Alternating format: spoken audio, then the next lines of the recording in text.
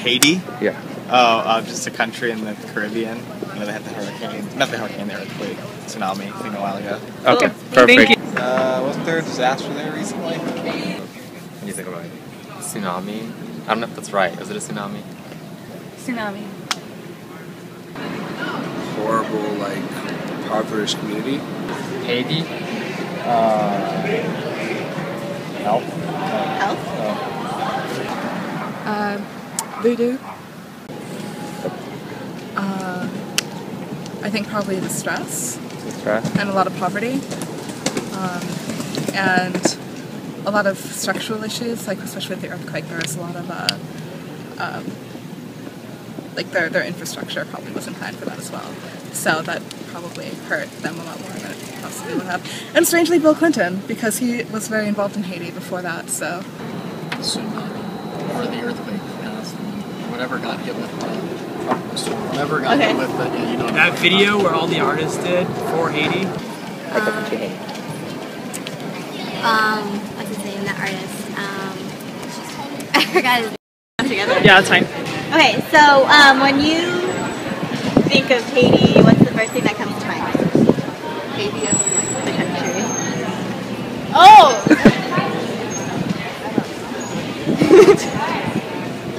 Well, what's the first thing that comes to Literally, Yeah. Yeah. like there. So I have a question, and this is the topic. So, what do you think is the biggest misconception that the U.S. media has on Haiti? Oh, Haitians and voodoo.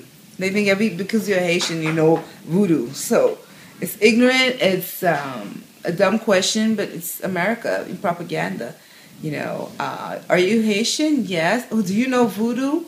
Yes. Actually, no, I don't. But I was raised Catholic. Um, there's nothing wrong with it. It's another religion, another faith. I just don't know anything about it. But the misconception is that people put spells and it's bad and you know it's demonic and um, it's just ignorant. But it's a religion, it's a faith, and I respect it like any other faith. So that's one of the big things with Haiti, I think.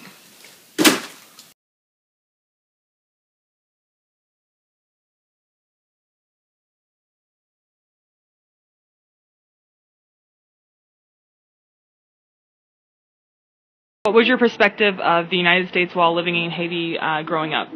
Ah, voilà, c'est une très belle question. Uh, what did I thought of the States? Um, ok, ma vue des États-Unis, c'est que c'était un petit peu, ça venait vraiment euh, des films, parce que on, allait au ciné, on, voyait les, films qui venaient des États-Unis, et puis on pensait que la vie aux États-Unis, c'était comme euh, euh, comme dans les pellicules. Mais vraiment, quand on vient ici, on, trouve euh, que c'est pas exactement comme ça. Que les gens, c'est comme, comme partout en général. Et puis, ce qui est un peu mauvais pour, pour les gens qui vivent dans d'autres pays, c'est que ça dépend de la personne. La personne perçoit le monde aux États-Unis suivant, suivant ses propres sentiments déjà, c'est-à-dire si c'est une personne qui toujours passe euh, le temps à faire la fête, on pense que tous les gens aux États-Unis, ils dansent, ils vont dans les discos, etc., etc. Si c'est une personne qui aime la politique, on pense que tous les gens euh, sont fous de la politique, euh, euh, qu'ils regardent Fox TV ou ben CNN. Donc, donc ça dépend. Donc l'impression que moi que j'avais, vraiment c'était une impression, c'était une impression pas vraiment What was your um, parents' perspective on politics while living in Haiti? Ok, so, mes parents ont toujours été très clairs au sujet de la politique.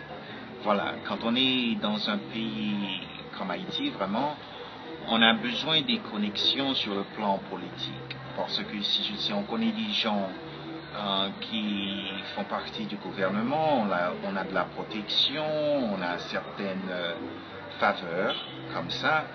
Mais mes parents nous ont toujours dit que non, pour notre compte, de ne jamais s'engager dans la politique parce que la politique, comme il le disait, c'est une terre glissée. Ce que ça veut dire en, termes américains, c'est que uh, this is a can of worm in the sense that um, you know when you get in, you don't truly know when you get out. Uh, it's kind of like uh, a club. C'est comme un club à aller voir, mais um, il y a beaucoup d'avantages si on en veut, mais aussi il y a beaucoup uh, de possibilités de perte. Donc, euh, pour moi, la politique, euh, vraiment, c'est quelque chose euh, qui ne m'intéresse pas. Et puis, moi, je suis scientifique, toujours est-il, donc euh, j'aime mieux les choses qui, pour moi, sont très claires, les choses que je peux vraiment euh, contrôler. Et puis, le domaine, euh, euh, la politique, chez nous, malheureusement, c'est pas. Voilà. We often hear the broken record repeating Haiti's bad press. If not the poorest country in Western Hemisphere, Haiti's soundbite has become a death toll of earthquake in Port-au-Prince. It is important for educated public to question the documentation of Haiti, meaning to question whether news articles are tailored to American expectations or independent of them. Haiti's descendants see the country as a beacon of freedom rather than a symbol of hopeless charity. Journalists recycle negative and empty sound bites to beef up their stories, which everyone knows Haiti is the poorest country in the Western Hemisphere or that is devastated or earthquake ravaged.